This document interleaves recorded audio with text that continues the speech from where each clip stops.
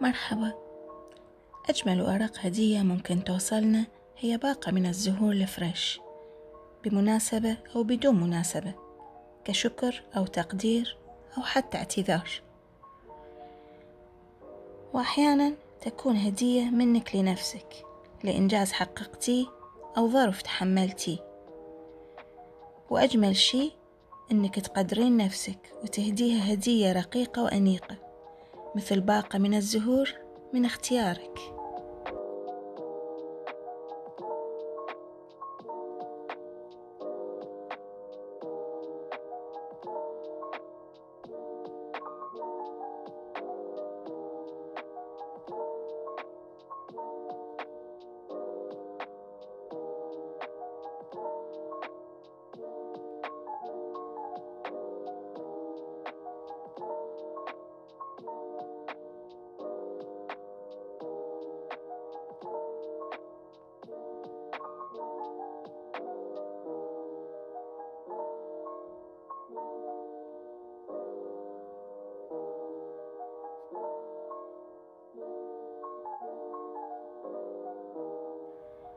ومثل محاولاتنا للاحتفاظ بذكرى أي لحظة سعيدة مرت علينا فأكيد نحاول وبشتى الطرق للإبقاء على حياة هذه الأزهار.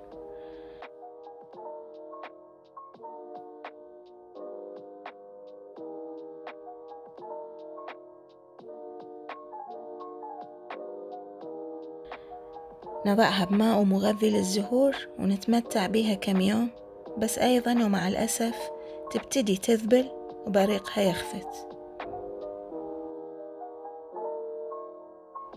وأكيد كلنا جربنا الطريقة الأولى واللي كنا متعودين عليها من وإحنا صغار وبالمدرسة وهي الاحتفاظ بالزهور بين مجموعة من الكتب الثقيلة إلى أن تجف. هذه الطريقة تعتبر هي أكثر طريقة بدائية وما تحتاج أي مواد. ولذلك كنا نستعملها بالمدرسة لأنه تحتاج كتب فقط.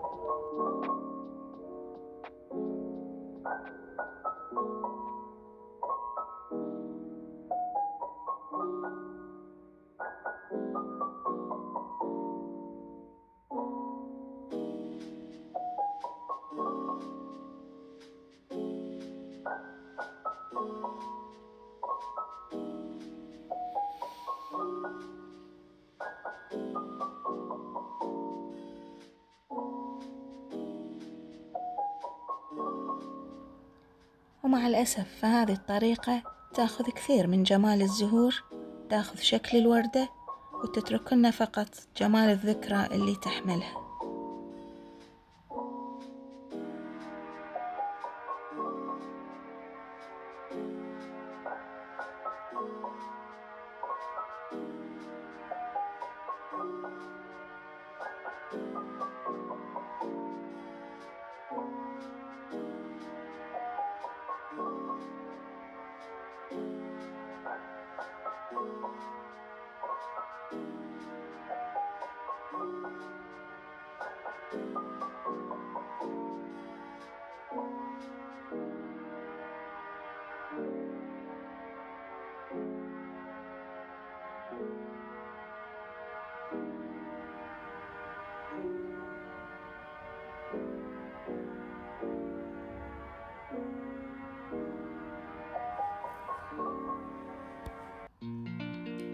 فحبيت أجرب طريقة ثانية.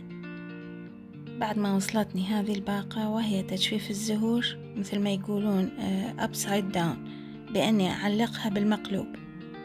هذه الطريقة تحفظ للزهور شكلها تقريبا تأخذ من ألوانها الكثير تصير ألوانها مثل الخريفية بس أيضا لا بأس به حبيت أجرب.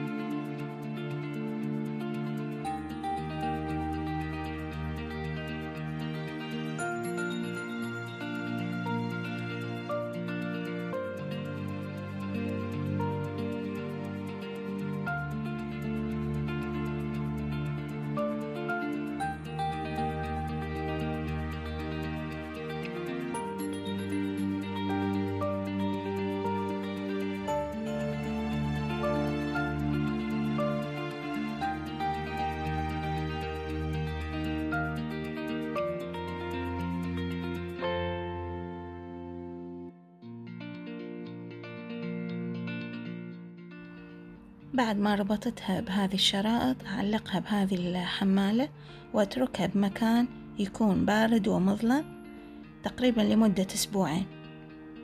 هسه تشوفون النتيجة شلون طلعت. مثل ما قلت تذكرني بخريف وأوراق الخريف.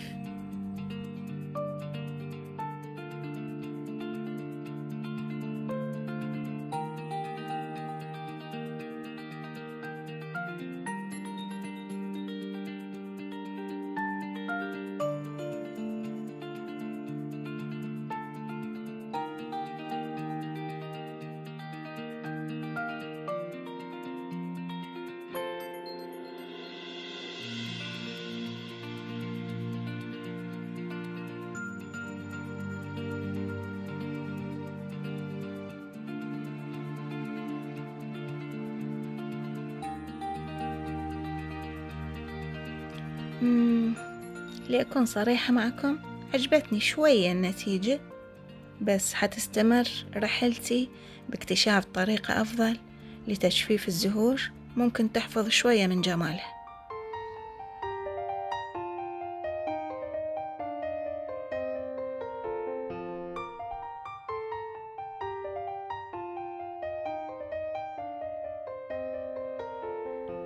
فاختارينا أنا وبنتي هذه الباقة الجميلة من الزهور. كانت على ذوقنا أكيد. وحبيت أجرب هذه الطريقة الجديدة بعد ما سويت أبحاث كثيرة. أخذناها للبيت وتمتعنا شوية بجمالها يومين فقط قبل ما تذبل واستعملت الطريقة اللي حقولكم عليها هسه.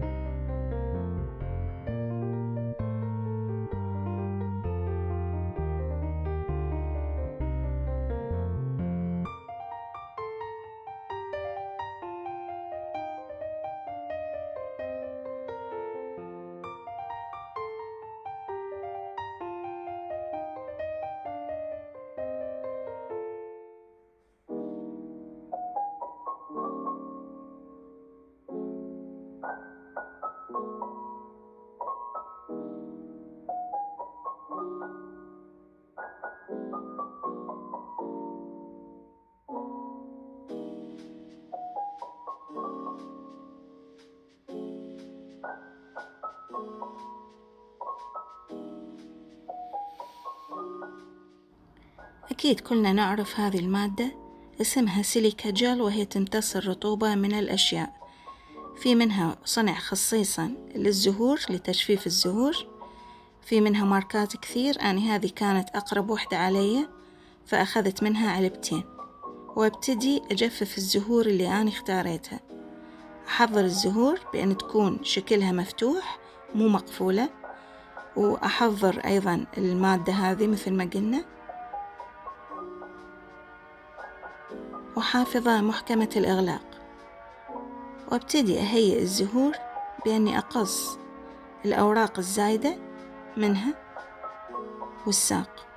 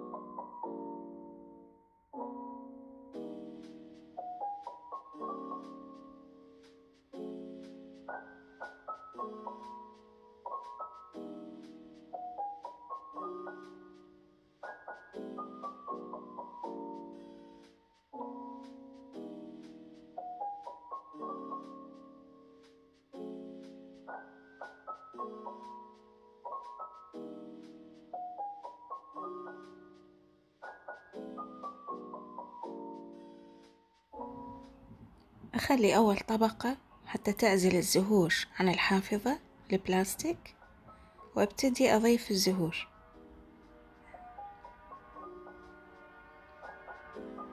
لازم تكون كل زهرة بعيدة عن الثانية مو على تماس مباشر وياها.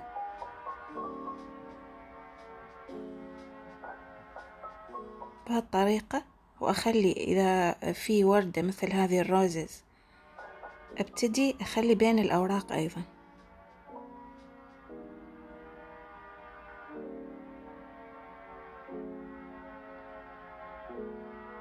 ظليت أضيف طبقات زهور وهذا الرمل.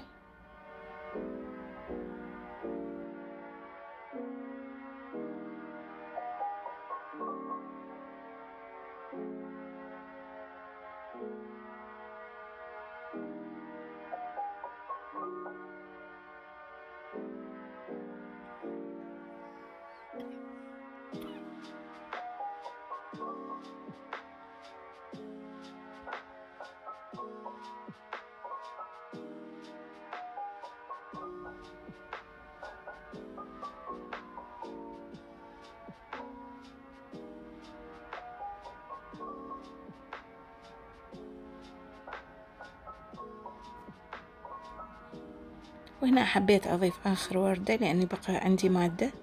هذه المادة مكلفة شوية بس هذه الطريقة آه، تعتبر جيدة للي يريدون يجففون باقات العرس مالتهم. هنا بعد مرور ثلاثة أيام كان المفروض أني أفتحها يومين يومين ونص. وهذه الورقة آه، هي اللي تقول لي بأنه التجفيف تم. مثل ما شايفين ما تغير شكل الوردة. هذه وردة كانت برا وهذه داخل التجفيف. شوف الفرق.